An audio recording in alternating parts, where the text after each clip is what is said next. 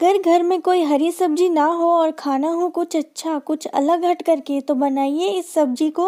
ये बहुत टेस्टी बनती है और ये बनती है चना दाल से। तो चलिए शुरू करते हैं आज की recipe hello my YouTube family it's me Arpita and welcome back to my channel impressive Arpita art यहाँ पर हमने लिया है चना दाल जो कि रात भर भिगोया हुआ है। तो इसमें अभी हम ऐड करेंगे अदरक है लहसुन है और मिर्च है। चना दाल से ये सब्ज़ी बहुत ज़्यादा टेस्टी बनती है तो इन सभी को मिक्स करके हम ग्राइंड करेंगे। तो मैंने यहाँ पर ले लिया है जार। जार में हम सारे दाल को ट्रांसफ़र कर देंगे और इसे हम पीसेंगे। महीन हमें नहीं पीसना है, इसे हमें दरदरा पीसना है और साथ ही साथ इसमें हम डाल देंगे अदरक, मिर्च और लहसुन। क्वांटिटी सारी आपको स्क्रीन में दिख जाएगी। सारी चीज़ों को हमने जार में ट्रांसफ़र कर दिया। अब हम इसे पीस लेते हैं। इधर मैंने एक छोटी सी कटोरी में छः चम्मच पॉपी सीड्स, जिसे हम पोस्तु दाना या पोस्ता भी बोलते हैं, उसे ले लेंगे। और इसमें हम एकदम बॉइलिंग वाटर डाल करके इसे हाफ़ एन आवर के लिए हम ऐसे ही छोड़ देंगे ढक करके, ताकि पोस्तु दाना अच्छे से फूल जाए। इसे अभी मैं अलग करके रख देती हूँ। और यहाँ पर मैंने ग्रेवी के लिए एक टमाटर जो 25 से 30 ग्राम के लगभग है और तीन हरी मिर्च। हरी मिर्च आप अपने अकॉर्डिंग ले सकते हैं। इन सभी को हम जार में काट करके डाल देंगे और इसका एक स्मूथ पेस्ट बना करके हम रेडी कर लेंगे। इस तरीके का ग्राइंडर में काफ़ी पेस्ट लगा हुआ है तो इसे वेस्ट नहीं करना है। पानी हल्का डाल के इसी में डाल दीजिए और इसे अब अलग रख देंगे। यहाँ पर हमने चना दाल, अदरक, लहसुन, मिर्च का दरदरा पेस्ट बनाया है। देखिए, इस तरीके का बनाना है। पूरा महीन नहीं पीस देना है, वरना इसकी पकौड़ियाँ अच्छी नहीं बनेंगी। इसमें डाल देंगे जीरा और डाल देना है नमक। बहुत ही थोड़े से मसाले के साथ ये बनता है। सभी चीज़ों को हम अच्छे तरीके से मिला लेंगे और फिर हम इसकी छोटी छोटी पकौड़ियाँ बनाएँगे। तो चलिए, अब हम इसकी पकौड़ी बना लेते हैं। तो यहाँ पर मैंने कढ़ाई में डाला है रिफाइंड ऑयल। जिसमें हम पकौड़ी तलेंगे। यहाँ पर तेल को आपको अच्छे से गर्म कर लेना है, फिर फ्लेम को मीडियम कर देनी है, उसके बाद इसमें हम पकौड़ियाँ बनाएँगे। यहाँ पर आप पकौड़ी को दो तरीके से तेल में डाल सकते हैं, या तो चम्मच से या हाथ से। मुझे हाथ से ज़्यादा आसान लगता है, इसलिए मैं हाथ से बना रही हूँ। चम्मच से बस मैंने डाल के दिखा दिया कि जो आपको सुविधा लगे, आप वैसे बना सकते हैं। चने दाल की पकौड़ियाँ छोटी छोटी ही बनती है, क्योंकि ये ग्रेवी में जाके फूल जाती हैं।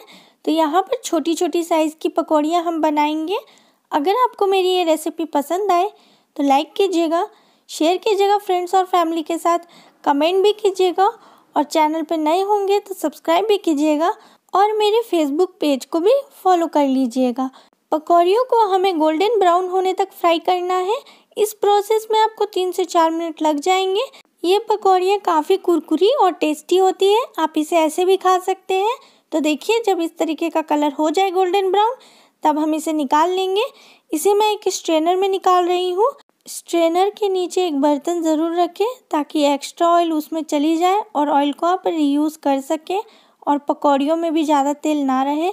इसी तरीके से हम सारी पकौड़ियों तल लेंगे। यहाँ पर मैंने सेकेंड बैच भी डाल दिया है और इसे भी हम गोल्डन ब्राउन होने तक तल करके इसे निकाल लेंगे। सारी पकौड़ियाँ ऐसे ही तल लेंगे, फिर हम बनाएँगे इसकी सब्ज़ी। तो पकौड़ियाँ हमने तल ली है। अब इसी ऑयल में मैंने चार छोटे आलू को इस तरीके से काट लिया है बड़े बड़े साइज़ में। इसे हम तल लेते हैं। एकदम गर्मा गर्म तेल में हमें आलू को फ्राई करना है सिर्फ़ एक मिनट के लिए। यहाँ पर ध्यान रखें, आलू से काफ़ी छीटे उड़ेंगे तलते समय। तो यहाँ पर इस तरीके से ढक्कन से आप कवर कर लें ताकि आप पर छीटे ना उड़े। और एक मिनट के लिए हम इसे फ्राई करके फिर हम इसे निकाल लेंगे। इस रेसिपी में आलू बहुत टेस्टी लगती है, लेकिन अगर आपको आलू नहीं पसंद है तो आप स्किप कर सकते हैं। सिर्फ़ आप पकौड़ियों की सब्ज़ी बना सकते हैं। तो हमने आलू को निकाल लिया और कढ़ाई को वॉश करके इसमें एक चम्मच तेल डाल लिए। जब तेल गर्म हो जाए तो इसमें डाल दीजिए प्याज। हमें इस रेसिपी के लिए प्याज को लाल नहीं करना है बहुत ज़्यादा। बस प्याज हल्का सा गुलाबी हो जाए, मुलायम हो जाए, उतना ही चाहिए। तो देखिए, एक से दो मिनट लगे और प्याज हमारा डन हो गया है। तो अब हम इसमें डाल देंगे टमाटर और मिर्च का पेस्ट। सभी चीज़ों को अच्छे से मिला दीजिए। अब टमाटर गया है तो नमक जाएगा यहाँ पर स्वाद के अनुसार। और साथ ही साथ डाल दीजिए इसमें हल्दी। और इसमें कोई भी मसाले नहीं जाएँगे। बस इसे अच्छे तरीके से मिला करके इसमें बस मॉइस्चर ख़त्म होने तक हम इसे खुले में ही पकाएँगे। इसे ढकना नहीं है। जब ये इस स्टेज तक आ जाए कि मॉइस्चर इसमें से ऑलमोस्ट ख़त्म हो जाए तो इसमें हम डाल देंगे दो हरी मिर्च। हरी मिर्च सब्ज़ी में जो पकी हुई रहती है वो मुझे बहुत पसंद है, इसलिए मैं डाल रही हूँ। ये ऑप्शनल है और साथ ही साथ आलू डाल करके दो से तीन मिनट के लिए अब हम आलू और मसाले को अच्छे तरीके से फ्राई करेंगे। इसमें काफ़ी हमने कम तेल का यूज़ किया है सब्ज़ी में, इसलिए आपको ऊपर तेल नहीं दिखेगा। आलू यहाँ कच्ची है तो आलू को पकाने के लिए यहाँ मैं आधा गिलास पानी डाल रही हूँ। सभी चीज़ों को अच्छे से मिला दूँगी और इसे ढक करके मैं तब तक पकाऊँगी जब तक आलू अच्छे तरीके से सॉफ्ट ना हो जाए। तीन से चार मिनट हो चुके हैं और आलू अब हम चेक भी कर लेंगे। तो यहाँ पर आलू अच्छे तरीके से पक चुकी है। बहुत ज़्यादा मैशी नहीं करना है। अब मैं यहाँ डाल रही हूँ खसखस का पेस्ट।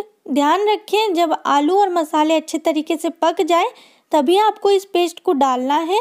क्योंकि हमें पोस्तू के पेस्ट को पकाना नहीं होता है तो सारे पेस्ट को डाल दीजिए। बाउल में थोड़ा पानी डाल के उसे भी हम इसी में डाल देंगे और सभी चीज़ों को अच्छे से एकदम मिक्स कर दीजिए। बहुत ही अच्छी सब्ज़ी बन करके आती है, खुशबू भी बहुत ही शानदार आ रही है। अब हम इसमें ग्रेवी करने के लिए डेढ़ गिलास पानी डालेंगे। यहाँ पर ध्यान रखें, पकौड़ी भी पानी जो है एब्जॉर्ब करेगी और ये जो खसखस है, ठंडी होगी ये सब्ज़ी तो ये भी गाढ़ी हो जाएगी।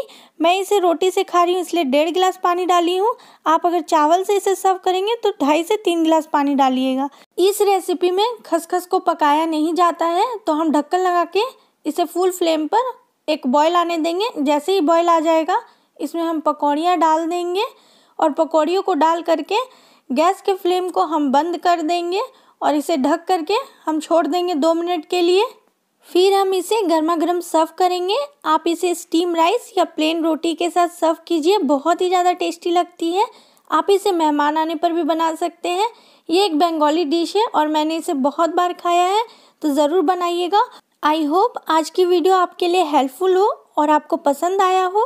तो चलिए फ्रेंड्स मिलती हूँ नेक्स्ट वीडियो में। Till then bye bye and take care